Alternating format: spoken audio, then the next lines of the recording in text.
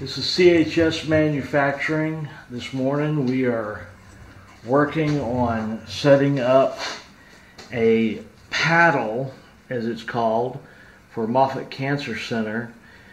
They have a special need to have some custom machining done, which we are available for on any type of item. It doesn't have to be medical equipment. It could be any kind of metal fabrication, fast part prototyping, and or any other type of thing.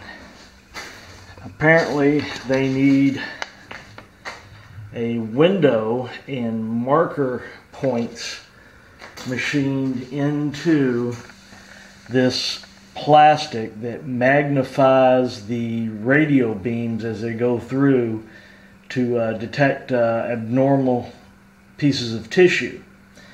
They have a rush job. They have a patient that is in great need of this uh, specialized tool Monday morning. So we're going to do a quick job of it here for them and get them up and running so they can take care of their patients. Uh, we'll be back to you here once we start doing some machining. Thank you.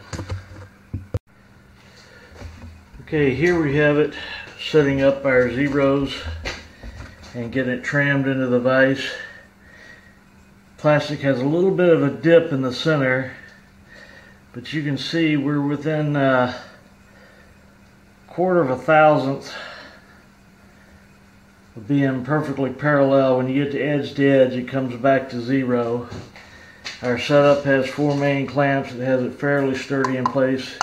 It is plastic. I don't want to put too much pressure on there but I think we're good left to right uh, in the part. So now let's establish our zeros and start doing some.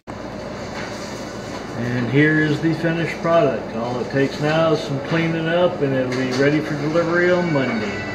Once again, CHS Manufacturing, helping out others with Moffitt Cancer Center for their uh, breast clinic program. Custom machining of our radiographers, radio photography paddle for breast imaging. Have a great day.